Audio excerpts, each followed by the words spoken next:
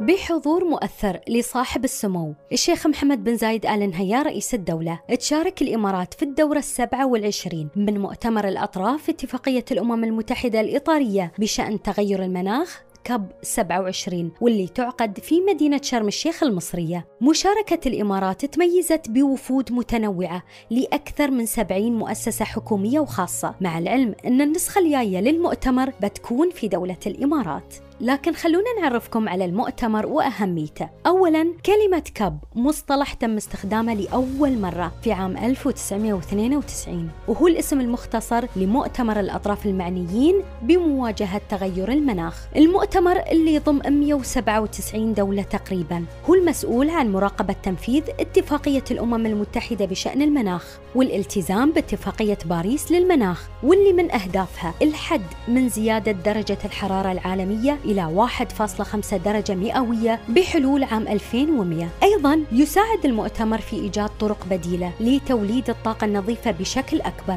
كل هالجهود هدفها مواجهة التغير المناخي على اعتبار التحدي الأكبر للأجيال الجاية. ودولتنا تحرص على دعم وتعزيز جهود خفض الانبعاثات وتبني مسار اقتصادي مستدام يتماشى مع مبادئنا الاستراتيجية لتحقيق الحياد المناخي بحلول عام 2050